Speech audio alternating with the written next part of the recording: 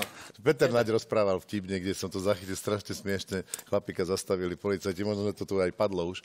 Dobrý deň, na kontrola. Ste ochotní podrobiť sa dýchovej skúške? No, tak. Dali mu ten dreger, fúkol. No nech sa páči, 1.30. 1.30? Po druhej? Už je toľko hodín. Som byť dávno doma. Dávno som byť doma.